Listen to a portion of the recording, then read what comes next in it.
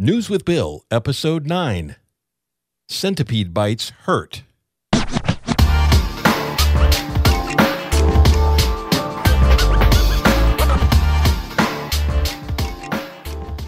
Well, hello and welcome back to News with Bill, where I tell you about all the weird, odd, and bizarre news stories that you won't believe are true, and in a lot of cases, you'll wish they weren't.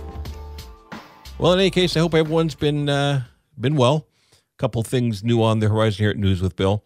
First off, I am uh, trying to become more active video wise. So if you check out newswithbill.com slash YouTube, I'm not only posting the audio versions of these episodes on YouTube, so they're audio only versions. I'm also publishing quick, uh, I call them short takes. They're single stories that I'm just putting on YouTube. So instead of having one episode as I do with audio episodes with, oh, six to seven to eight stories, it's a quick, usually about a two minute or so video snapshot. And you can also find those. I'm experimenting on TikTok and Clapper. So on Clapper, I'm at News with Bill. On TikTok, I'm something a little bit different. You can look for the hashtag News with Bill, but my username on TikTok is Cigar Bill. So once again, Cigar Bill on TikTok, News with Bill on Clapper. On either one, you can search for the hashtag News with Bill, and on YouTube, News with Bill. So I hope that you check those out, enjoy them, and let me know what you think. And I'm even experimenting with the blue screen and putting the story and stuff behind me just to see what I can do with this technological stuff. So, anyway, let's get on with the stories. So, first up today, we have a Chinese serial killer who sold delicious ostrich meat. So, the earliest background that has been found on Zhang Yanming was the time he was convicted of murder and sentenced to death back in 1979. Now, for some wise reason, China released him in 1997, and this will undoubtedly prove to be a great decision. and we'll see that as this story goes on. So the next time Zhang appeared in the news was in 2011. People were going missing close to where he lived in the Yunnan province. And a couple of bodies turned up, but for some reason, police didn't even look at Zhang at the time. Zhang continued to farm for a living and played chess. He also sold dried meat to the villagers. He called what he sold ostrich meat, and it reportedly did taste exotic. The thing is, no one was sure where the meat came from, and the reason is he didn't keep ostriches. So back in two, December 2011, a 17 year old escaped Zhang's house with a belt around his neck. He claimed that the farmer had been trying to strangle him. Zhang laughed it off and told police that the boy had just been playing a game with him. And here's the thing the police believed Zhang. Finally, the family of one of the area missing men convinced police to search Zhang's home. They found the missing man's phone in there. Oh, they also found human eyes preserved in alcohol, as well as plenty of other assorted human remains. Investigators managed to tie Zhang to 11 different murders, and China sentenced him to death. As for the ostrich meat, well, as you might have already guessed by me reading this story, it turned out to be dried human flesh from his victims. Naturally.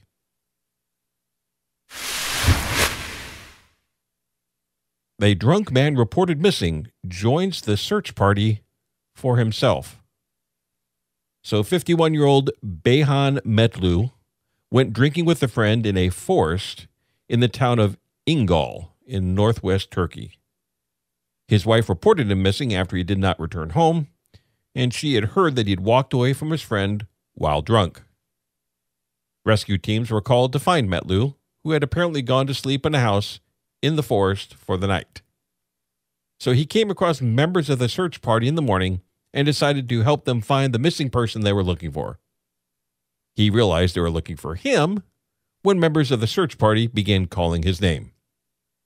He told reporters, After a while, they said they were looking for Beyhan Mutlu, I broke into a cold sweat when I heard my name. I told them I was Beyhan Mutlu, but they continued to search. They didn't believe me. The truth came out when my friend saw me. Mutlu said he was part of the search team for more than half an hour before this was all figured out. So I guess the moral of the story is never to go missing in Turkey because apparently they have no idea what or who they're really looking for.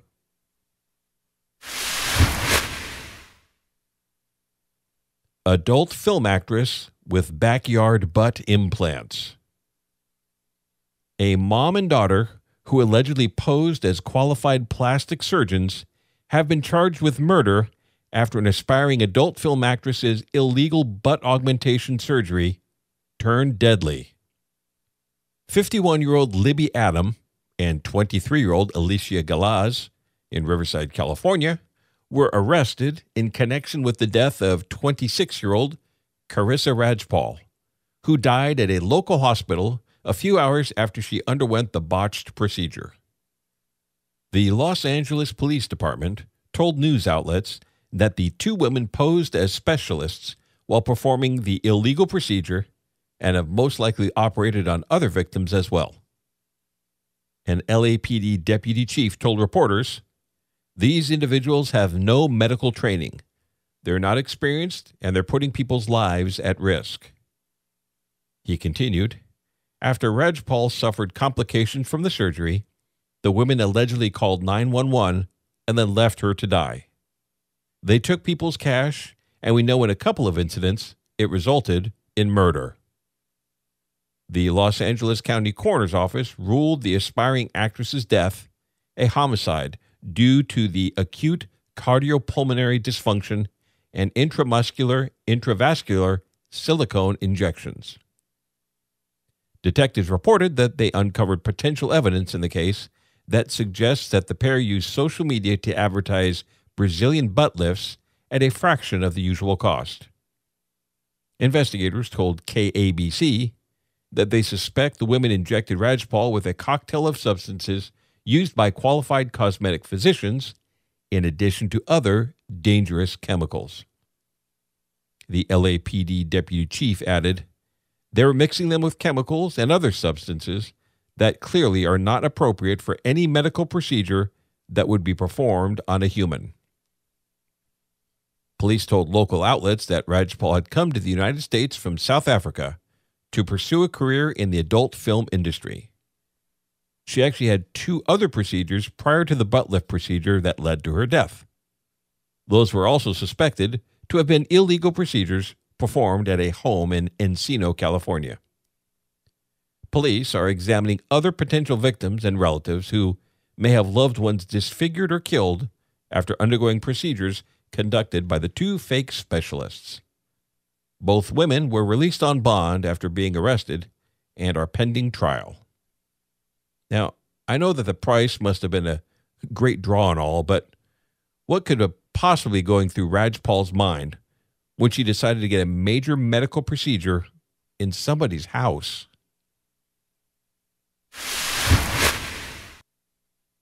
Man gets insurance payout after a centipede bites his nether regions.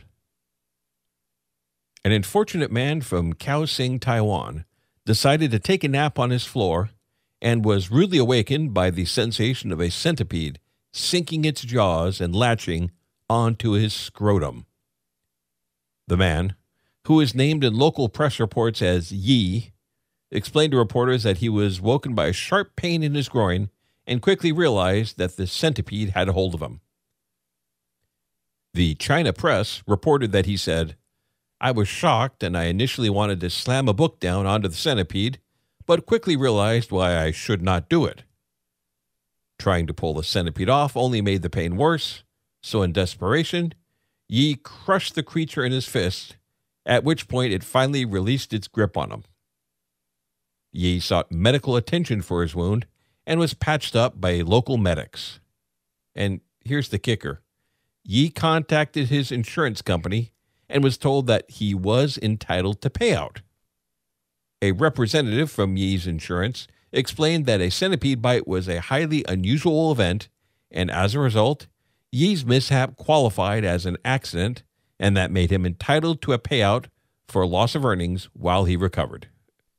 Now, I'm just still cringing at the thought of a centipede bite in that region. I mean, centipedes are really freaky looking. And if you look at the cover art for this episode, I, I threw a picture of a centipede on there. But that would be frightening.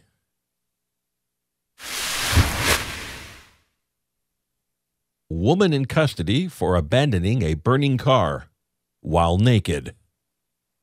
A Tennessee woman is in custody after abandoning a burning vehicle, damaging a guardrail, stripping to only a mask, tail, and underwear, and assaulting officers. According to the Knoxville Police Department report, officers were dispatched to a reported wreck at Edgington Town Road near Maryville Pike. While on the scene, officers found an abandoned Pontiac Grand Prix at the intersection of Sims Road and Lester Road that was still in motion. The car moved off the road and hit a guardrail, and a witness had to put out a fire located on the car's door. Officers ran the registration of the vehicle and found that it belonged to 32 year old Marissa Ferrante. Later in the day, officers were dispatched to Sims Road due to a reported naked woman wearing a mask and ringing doorbells. Officers located a woman, identified as Ferrante, walking down Edgington Road near Maryville Pike, wearing only the mask, underwear, and a tail. Officers tried to approach her, but she ran away from the officers and jumped a fence at a nearby house. Officers followed, and then she pretended to be defecating near a dog enclosure while talking to a dog in the enclosure. She then began eating grass from the lawn. Officers managed to arrest Ferrante while she was attempting to kick, punch, and bite them. While in custody, she reportedly told the officers that she was, quote, called to abandon her car and go into the woods naked. Ferrante was charged with indecent exposure, evading arrest, criminal trespass, resisting arrest, assault on a first responder, disorderly conduct, obstructing a highway, reckless endangerment, and not providing an immediate notice of an accident. I'm just hoping that one of these charges somehow covers the whole pooping next to a dog enclosure thing. Boston High School forced to use a party bus with a stripper pole. Oh, to be in high school again. So, a group of high school students in Massachusetts had to ride on a party bus complete with a stripper pole and neon lights during a recent field trip.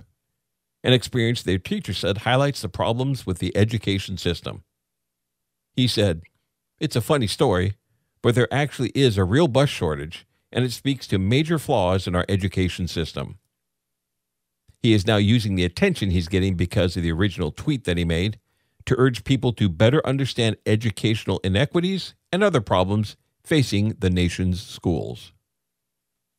I'm worried that there is too much attention being paid to the tweet itself, or simply the fact that it went viral, instead of attending to the many systemic issues we are facing, not just my students, but students all across the country, he wrote in a follow up tweet. It is indeed true that school districts across the nation are struggling to hire enough drivers to shuttle kids to school. It got so bad in Massachusetts that National Guard members were tasked to drive school transport vans.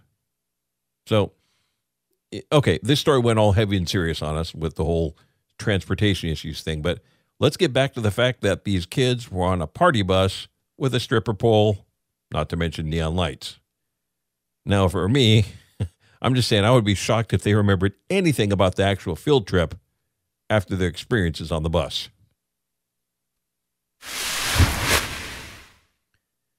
Man arrested after robbing the same bank for a second time in three days. A man was arrested after returning to a Fountain Valley, California bank that he is suspected of robbing to try and rob it a second time. Around 3 p.m. on a Monday, a man went into the Chase Bank in the 17,000 block of New Hope Street and gave a note to the teller demanding cash. Officials said that the suspect then got away with a large amount of cash before police arrived at the scene. The next day, at around 11:15 a.m., police got a call about another robbery in progress at the same Chase Bank.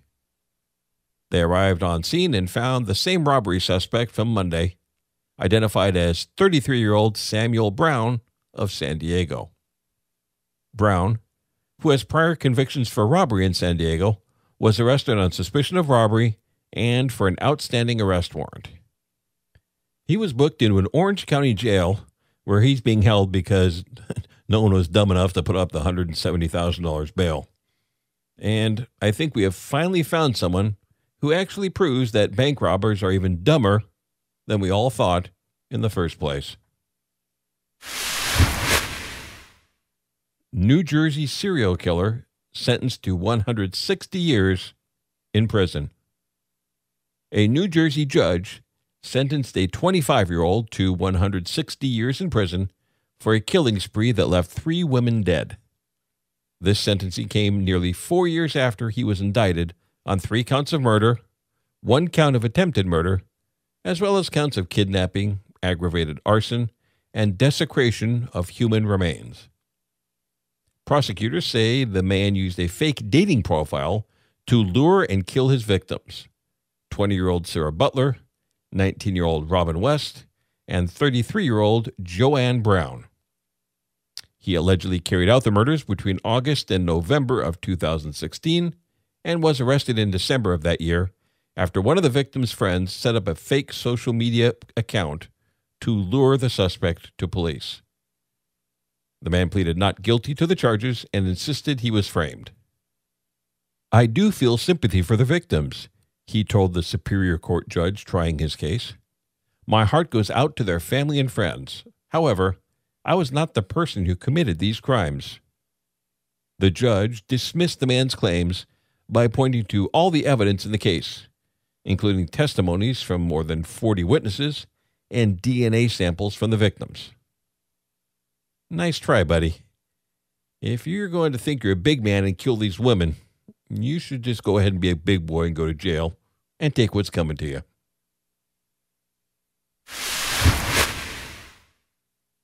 pizza roll pooper apprehended.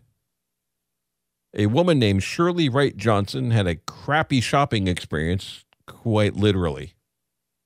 Wright Johnson said she was with her two daughters picking up some things at a grocery store in Moore, Oklahoma.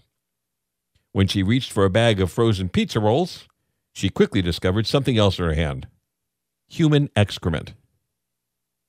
On a video from local NBC affiliate KFOR, she said, I pick up a bag of pizza rolls and there's literally S, human S. Excuse my language. Police told reporters that someone defecated inside the supermarket freezer onto a bag of Totino's pizza rolls, then covered the mess with another package of the pizza treats. Wright Johnson continued, I grabbed the bag. I felt something smushy on the bag, so I turned it over, and there it was. I was upset. I was disgusted. I feel like I was violated. It's just disgusting. That's the only word I can use. It's disgusting and horrible. Even though she was quick to scrub her hand, the drive home was obviously miserable. Moore police used surveillance video from the scene and identified a man as a person of interest. He was booked into the Cleveland County Detention Center on unrelated charges while the investigation continues.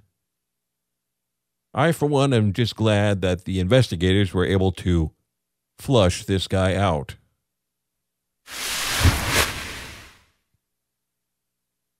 A man staged his murder victim at a Walmart. A man confessed to killing his fiancee after a 67 year old woman was found dead Tuesday in a pickup truck at a Walmart in Sebastian, Florida, which is just south of Brevard County. Shoppers who saw the woman inside the truck called 911, and Sebastian police said officers found the body of Janine Bishop in there.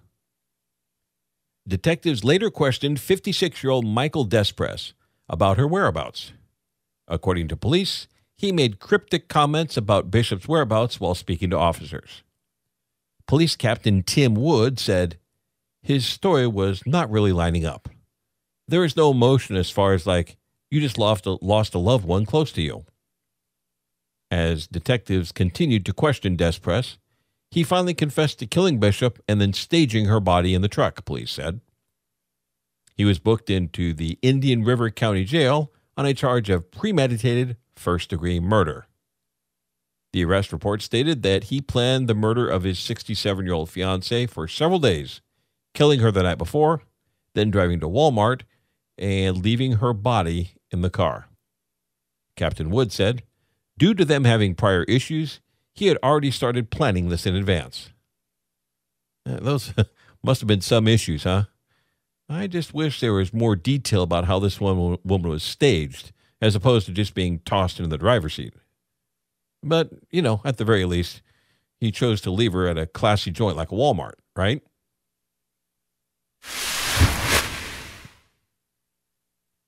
Man sues psychic over his ex girlfriend's curse. A Los Angeles man is suing a psychic who said she could remove a curse on his marriage put there by a witch hired by his ex girlfriend. Mauro Restrepo claims the clairvoyant promised he would be happy again if he paid her $5,100 to exorcise the spell. Shockingly, after forking over a large down payment, he saw no improvement in his life nor his relationship. As a result, he has decided to sue, quote, psychic love specialist Sophia Adams for fraud and is seeking $25,000 in damages. According to the psychic, this bad luck was placed on Restrepo by a witch hired by his ex girlfriend. Unless the curse was removed, the misfortune would ruin Restrepo, his children, and his marriage. Despite receiving an initial $1,000 from Restrepo, Adams did not help him in any way. The suit, which also names Adams' husband, daughter, and landlords, says Restrepo suffered sleepless nights, anxiety, and anguish as a result of the non removal of the curse. Well, hey, Restrepo, if you're listening to this episode right now, if you're hearing my voice, I want you to send a few thousand dollars to feedback at newswithbill.com and I will put a curse on that other psychic for you.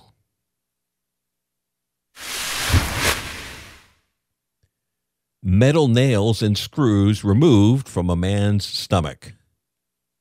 Lithuanian media recently reported a case of a man who arrived at the Klaipeda University Hospital in the Baltic port of Klaipeda. He complained of severe, severe abdominal pain, but conveniently failed to mention that he had swallowed over a kilogram of metal objects over the last 30 days. An x ray examination revealed that the man's stomach was full of metal objects of all shapes and sizes, including nails, screws, and blades. They prepped the unidentified man for emergency surgery and spent over three hours removing the metal objects. Chief Surgeon Algirdas Slipovicius said that they had never seen anything like this before. Surgeons at the Klaipeda University Hospital get a couple of dozen cases of foreign bodies discovered in people's gastrointestinal tract every year or so. And so they're fairly common, but the sheer quantity found in this Lithuanian man's stomach made the, made the case quite unusual. Ordinarily, about 80% of foreign bodies are eliminated naturally. Nearly 20% of them are removed endoscopically, and less than 1% require actual surgery.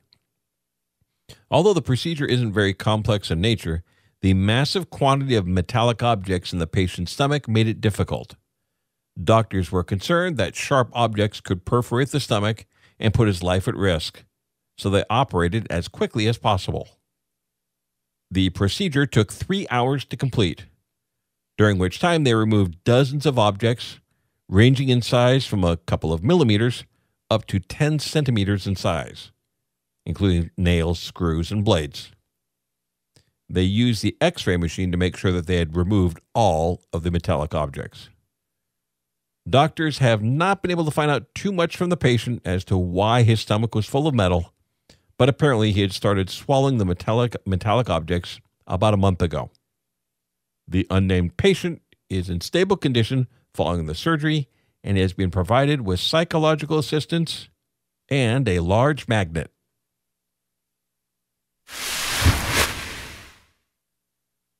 Woman charged with a felonious grits attack. A Florida woman is behind bars for allegedly striking her boyfriend in the head with a saucepan containing freshly cooked grits. Investigators say 49 year old Desiree Johnson and the victim were arguing yesterday morning when she struck the man with a metal saucepan inside the couple's St. Petersburg residence. The criminal complaint states Contained within this pan was hot grits, which spilled on the victim, causing a burn to his left arm. The victim also required stitches for injuries to his head and face. Johnson was arrested and booked into the county jail for aggravated battery, and she's being held in lieu of a $5,000 bond and has been ordered by the judge to have no contact with the victim.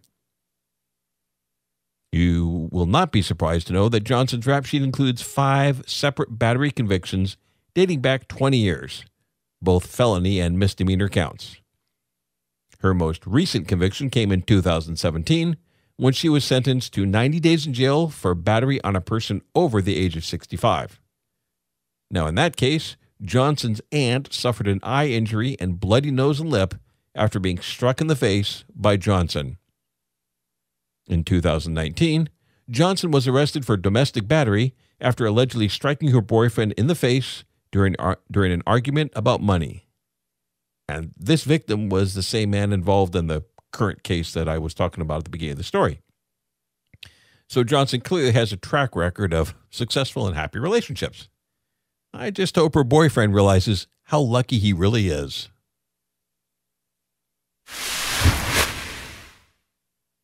And finally, today, man uses sign as a weapon. Jordan Thomas, a Florida man appearing for an arraignment on a battery charge, was arrested after striking a female victim with the letter G that he removed from a courthouse sign. The victim in this attack is the same woman he is accused of battering in the prior case. So, in that prior case, Thomas was scheduled to be arraigned on a misdemeanor charge stemming from an alleged battery last month on Shantaria Rollet, a Vero Beach resident. Thomas, a now former Amazon driver, was free on a $500 bond in that case. Investigators say that Thomas was inside the Indian River County Courthouse when he grabbed a signage letter from the blackboard in front of courtroom 3 and threw it at Rollet striking her with the letter G. The deputy added that there was video from a security camera that validates the charge. The incident, cops say, occurred while the court was in recess. Thomas was arrested for battery and violating the terms of his pretrial release in the prior case.